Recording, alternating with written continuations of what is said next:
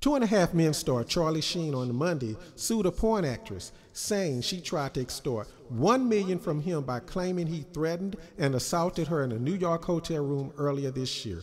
The lawsuit filed in Los Angeles Superior Court came on the same day Capri Anderson was interviewed on television news show Good Morning America, and she said she would sue Sheen in civil court claiming he had falsely imprisoned her. The claim and counterclaim stem from an October incident in which Sheen was found by police drunk and incoherent in a damaged suite in New York City Plaza Hotel, but he was not arrested and no criminal charges were filed against him.